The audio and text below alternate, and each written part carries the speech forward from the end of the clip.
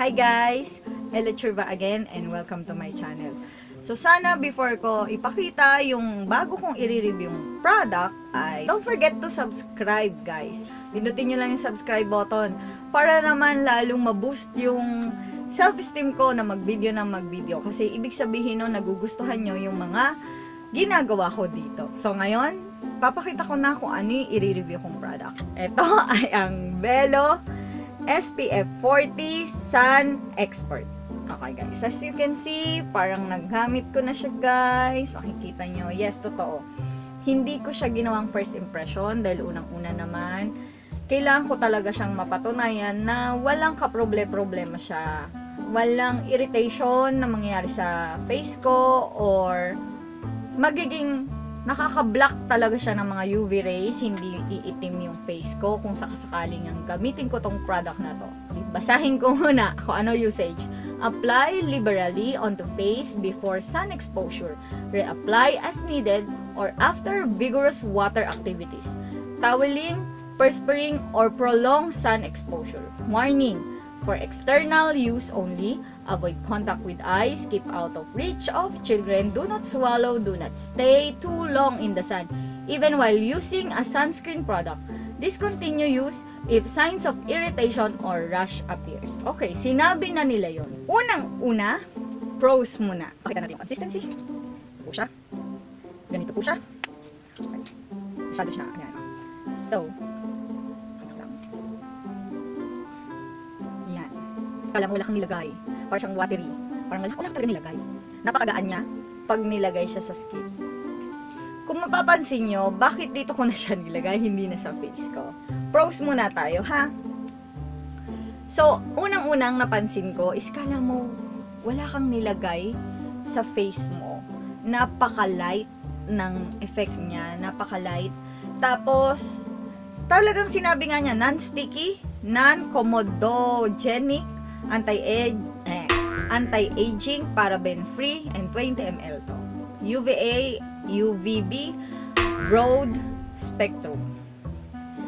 Okay, non-sticky, totoo. Paraben-free, siguro, ganun nga. Eh, ano nila eh, pan, ano naman ang magagawa ko kung kung paano ko ma-check kung paraben-free ba o hindi. Non-sticky, totoo. Napaka-light niya pag nilagay mo. After neto, tsaka ka na pwedeng maglagay na ng makeup sa face mo pagkatapos. Pangalawa, sa pros neto, totoong hindi nakaka-protect nga siya ng skin. So, kung magkakaroon ka ng sun exposure, lalabas ka and everything, hindi magbabago yung color ng face mo. Meaning, mamumula yung face mo, pero hindi magda-darken yung face mo. Dahil may protection ka nito. Ang hindi ko lang gusto dito sa Belo SPF 40 Face Sun Expert is nagkakaroon ako ng irritation sa face.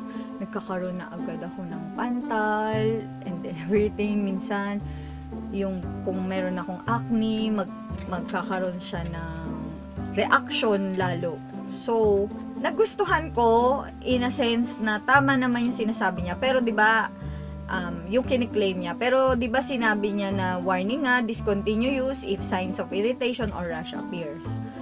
So, yun yung hindi ko nagustuhan dito sa Belo 40 SPF 40 Face Sun Expert. At saka yung price nito sa totoo lang mahal to. Ito nga lang, nagkataon na nalibre ako, binayaran ko lang yung shipping fee, sample products to from sampleroom.ph, thank you sample room. Tapos, trinay ko. So, hindi mo pwedeng sabihin sa isang beses ko lang to trinay.